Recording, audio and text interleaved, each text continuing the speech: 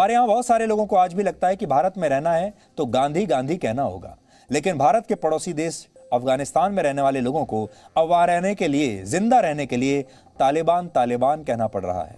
इस समय अफ़गानिस्तान के तिरपन प्रतिशत हिस्से पर तालिबान का कब्जा हो चुका है, जो बुरी खबर है। और आज पहली बार तालिबान ने वहाँ के एक प्रांत की राजधानी पर भी कब्जा कर लिया है, जो बहुत बड़ी बात है। सूत्रों के मुताबिक पाकिस्तान ने निमरोज प्रांत की राजधानी जारान को कब्जे में ले लिया है। आज ही अफ़गानिस्तान की सरकार ने संयुक्त राष्ट्र में यह कहा है कि अगर तालिबान को रोका नहीं गया तो थोड़े ही दिनों में अफ़गानिस्तान दूसरा सीरिया बन जाएगा, सीरिया की तरह हो जाएगा और फिर अफ़गानिस्तान में जीतने के लिए कुछ नहीं बचेगा। यानी अब आप, पहले आप सिर्फ़ सीरिया देखते थे एक ऐसा देश जो बर्बाद हो चुका है, सीरिया के ही कदम पर अब अफ़गानिस्तान चल रहा है। तालिबान खुद को अफ़गानिस्तान की अगली सरकार मानता है, लेकिन सच यह है कि यह तालिबान का नया रूप नहीं बल्कि 1990 के दशक वाला क्रूर तालिबान ही है। तालिबान बदले नहीं है, जो अफ़गानिस्तान के लोगों को अपनी कट्टर सोच का गुलाम बनाना चाहता है। इसका एक उदाहरण आज ही सामने आया है। वहाँ से मिल रही रिपोर्ट्स के मुताबिक तालिबान ने अफ़गानिस्तान के एक प्राचीन गुरुद्वारे में लगे सिखों के धार्मिक चिन्ह निशान साहब को वहाँ से हटा दिया है। इस गुरुद्वारे का नाम है थाला साहिब, जो अफ़गानिस्तान के पख्तिया प्रांत में मौजूद है। सिखों के लिए इस गुरुद्वारे का बहुत महत्व है, क्योंकि यहाँ सिखों के पहले धर्म गुरु गुरु नानक भी एक बार यात्रा पर आए थे। आप जानकर हैरान हो जाएँगे कि 1970 के दशक तक अफ़गानिस्तान में सात लाख से ज़्यादा हिंदू और सिख रहते थे। लेकिन जैसे जैसे कट्टरता बढ़ी वैसे वैसे हिंदुओं और सिखों की आबादी कम होने लगी और 80 का दशक खत्म होने तक अफ़गानिस्तान में सिखों की आबादी घटकर दो से तीन लाख के बीच ही रह गई थी। और 1990 में तालिबान के उदय के साथ ही इनकी आबादी घटकर सिर्फ़ पंद्रह हज़ार रह गई और आज अफ़गानिस्तान में सिर्फ़ एक हज़ार हिंदू और सिख रहते हैं। बल्कि आज तो हम आपको ये कहेंगे कि अब इनकी संख्या एक हज़ार भी नहीं है। मुश्किल से कुछ सैकड़ों लोग अब वहाँ बचे हैं, जो हिंदू हैं और सिख हैं। इन आंकड़ों से साफ़ होता है कि तालिबान के राज में अल्पसंख्यकों का वहाँ रहना कितना मुश्किल है, और यह सिर्फ़ आज की बात नहीं। अफ़गानिस्तान में अल्पसंख्यकों के साथ यह व्यवहार सदियों से होता आया है। पाकिस्तान, अफ़गानिस्तान और तजिकिस्तान के बीच में एक पर्वत श्रृंखला है, जिसका नाम है हिंदू कुश। आपने भी किताबों में पढ़ा होगा। इसका शाब्दिक अर्थ है वो जगह जहाँ हिंदुओं का कत्ल किया गया था। और अब अफ़गानिस्तान में तालिबान अपने ही लोगों का खून बहा रहा है। हालाँकि वहाँ की सेना और वहाँ के लोग तालिबान को रोकने की पूरी कोशिश कर रहे हैं। अब तो वहाँ के जो लोकल लोग हैं, वो खुद बंदूक लेकर खड़े हो गए हैं तालिबान के खिलाफ। इसी वजह से तालिबान को बहुत सारे इलाकों से पीछे हटना पड़ा। अगर आपको याद हो, पिछले एक दो हफ़्ते पहले ऐसा लग रहा था कि तालिबान को बहुत ज़्यादा समय नहीं लगेगा। वो कुछ ही हफ्तों में पूरे अफ़गानिस्तान पर कब्जा कर लेगा।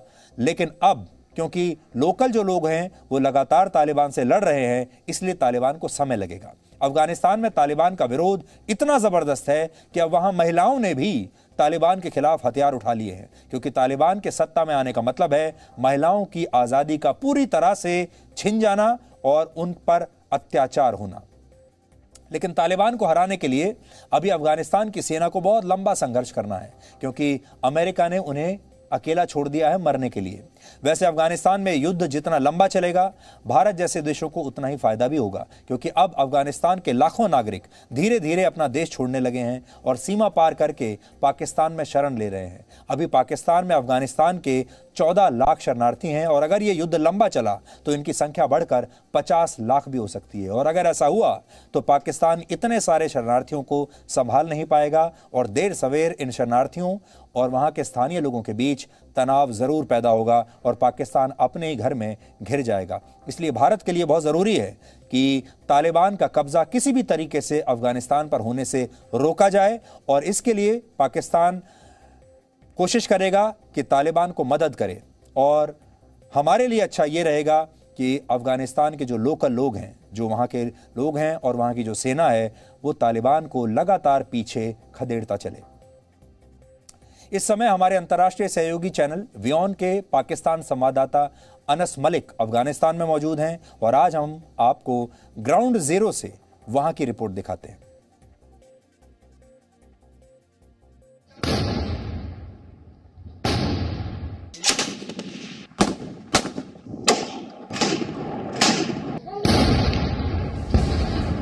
यहाँ से तकरीबन तीन से चार किलोमीटर की मुसाफत पर अफ़गान तालिबान का स्ट्रॉन्ग होल्ड कंसिडर किया जाता है।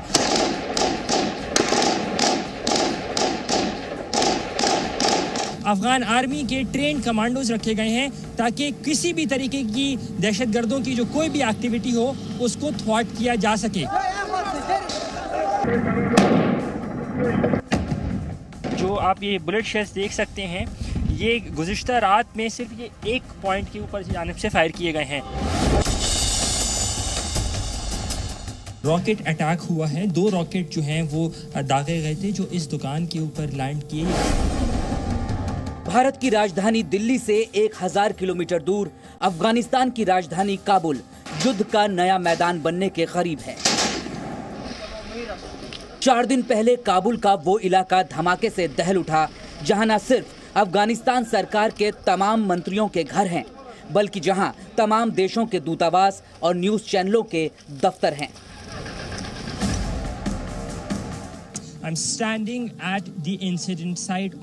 जहाँ तालिबान ने फिदाइन हमला किया था इस समय मैं उसी जगह पर खड़ा हूँ।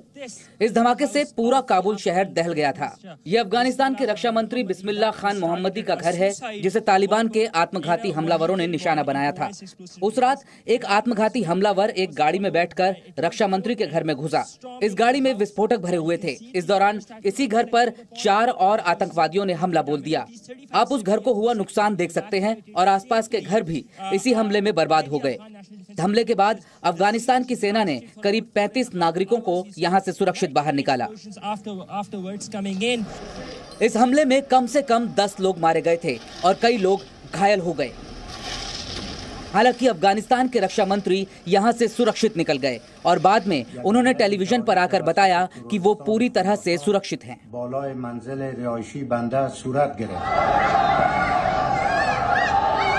इस हमले के बाद काबुल में रहने वाले लोग भी सड़कों पर निकल आए और उन्होंने अफ़गानिस्तान का झंडा हाथ में लेकर तालिबान का विरोध किया।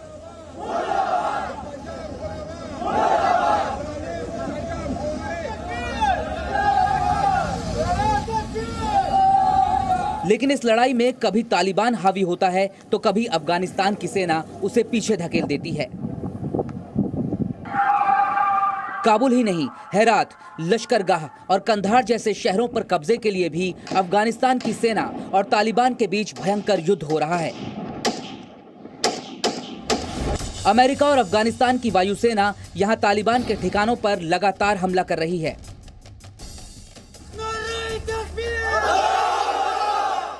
लश्करगाह शहर में सेना ने मार्च करके वहाँ के नागरिकों को शहर छोड़ने के लिए कहा है।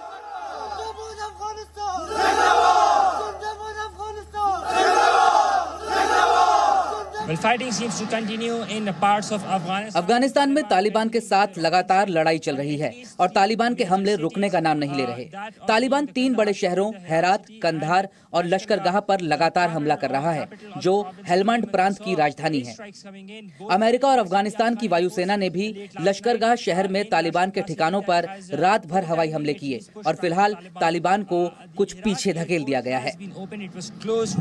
हैरात प्रांत में हालात अच्छे नहीं हैं। सेना ने यहाँ लाखों लोगों को घर छोड़ने के लिए कह दिया है। मेरे अकब में जो चौक मौजूद है इसको जिहाद चौक कहा जाता है। ये हेरात का जिहाद चौक है जिसको आज से तीन रोज़ खबर तालिबान ने आ, आ, क्लेम किया था कि उसको ओवर रन कर दिया है। लेकिन इस्माइल ख़ान जो यहाँ के लोकल मिलिशिया कमांडर हैं, बड़े पावरफुल कमांडर हैं बड़े पॉपुलर भी हैं, उनकी मिलिशिया ने और अफ़गान आर्मी ने तालिबान को पुश बैक किया। यहाँ से तकरीबन तीन से चार किलोमीटर की मुसाफत पर अफ़गान तालिबान का जो है वो स्ट्रॉन्ग होल्ड कंसिडर किया जाता है।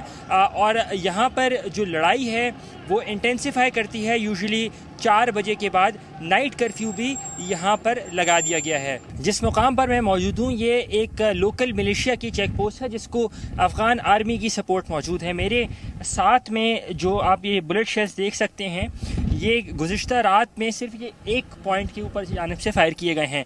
आ, ये इस बात की जामिन है कि यहाँ पर कितनी शिद्दत से गुज्त रात यहाँ पर लड़ाई हुई है।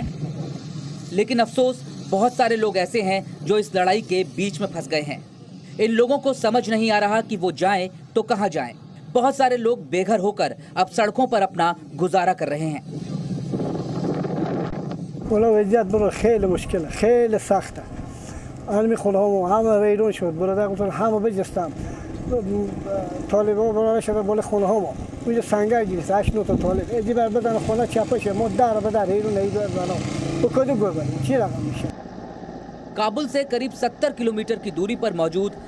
बगराम एयरबेस को अमेरिका की सेना ने पिछले महीने खाली कर दिया था यह अफगानिस्तान में अमेरिका का सबसे बड़ा सैन्य ठिकाना था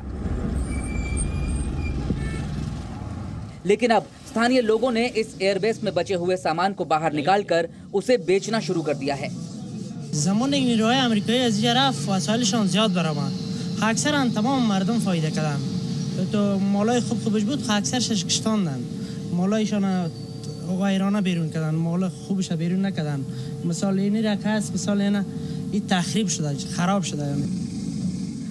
अफगानिस्तान की सेना अब भी बगराम एयरबेस की सुरक्षा में लगी है क्योंकि ये एयरबेस कभी फिदाइन हमलावरों का पसंदीदा निशाना हुआ करता था I'm standing right outside the Bagram Air Base. मैं इस समय बगराम एयरबेस के बाहर खड़ा हूँ। ये इसकी बाहरी दीवार है। इसके पीछे ढाई किलोमीटर की दूरी पर वो जगह है जहाँ से अमेरिका की सेना कभी अपने सभी ऑपरेशंस को अंजाम दिया करती थी। लेकिन अब इस दीवार के बाहर एक मार्केट बन गई है जहाँ अमेरिकी सैनिकों द्वारा छोड़ा गया सामान और कबाड़ बेचा जाता है। इसमें डील करने वाले लोगों का मानना है कि अमेरिकी सेना के यहाँ से जाने की वजह से उन्हें फ़ायदा हुआ है। लेकिन इनकी ये भी शिकायत है कि अमेरिका ने जाते जाते ज़्यादातर सामान को इस्तेमाल के लायक ही नहीं छोड़ा और इस सामान को बेचने से पहले दुकानदारों को उसकी मरम्मत करानी पड़ती है.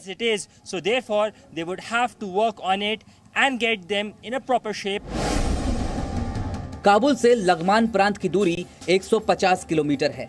लेकिन इस पूरे रास्ते पर हर एक किलोमीटर की दूरी पर आपको अफगान सेना की बख्तरबंद गाड़ियाँ दिखाई देंगी। क्योंकि इन शहरों को जोड़ने वाले हाईवे के दोनों तरफ़ पहाड़ हैं, जहाँ से तालिबान के लड़ाके लगातार हमला करते हैं।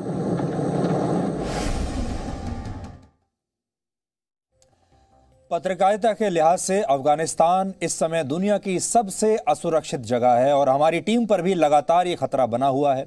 आपको याद होगा, पिछले महीने ही भारत के एक पत्रकार दानिश सिद्दीकी की तालिबान ने निर्मम हत्या कर दी थी। लेकिन इस खतरे के बावजूद हमारी टीम अफ़गानिस्तान में अब लगभग दो हफ़्ते से मौजूद है। इसलिए हम उम्मीद करते हैं कि हमारे संवाददाता अनस मलिक रिपोर्टिंग के दौरान अपना ख्याल रखेंगे, आपकी शुभकामनाएँ भी उनके साथ रहेंगी और उन इलाकों में जाने से पहले सावधानी बरतेंगे जहाँ खतरा है। हमारी उनसे रोज बात होती है और हम लगातार उनसे ये बात कहते हैं कि वो सबसे पहले अपना ध्यान रखें।